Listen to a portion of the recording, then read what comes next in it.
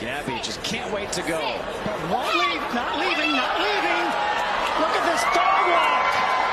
Whoa, what speed on that dog walk. Redirects a little bit, make sure they get that. Push, push, push.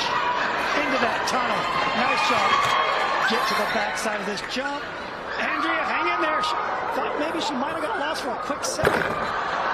Gabby has Push, to be push, push. 43.20. No, that's fine. It's just time. It's just time. Wow. We're taking the long way around everything, it looks like. But this is a young, young dog. Through the weave poles. Motors!